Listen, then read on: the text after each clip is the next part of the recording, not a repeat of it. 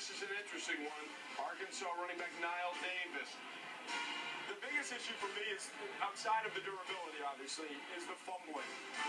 He this past year It's constant. 6.4%.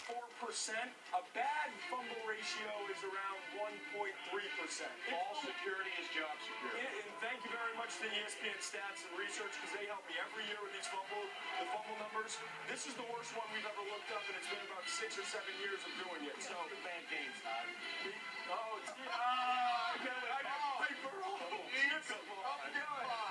How many bad games do you have to have to fumble 6% of the Hey, I know he had 100 yards and averaged 6.5 a carry as a sophomore with 13 touchdowns and 19 receptions. That was the year he was outstanding, Todd. And he's 5'11 and a half, 230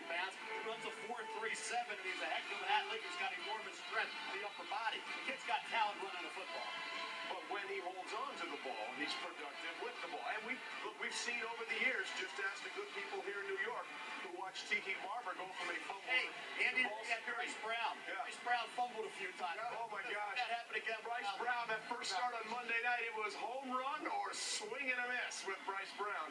But, you know, that's something that has to be corrected if he's going to be a consistent in the NFL. But it is fixable. It is a fixable issue. We've seen it fix. Thus proving that it is fixable. Yes, it's not Always likely fixable, to but it fixed. is fixable. I've never, I've never gone this long without getting under your skin. So I can grow hair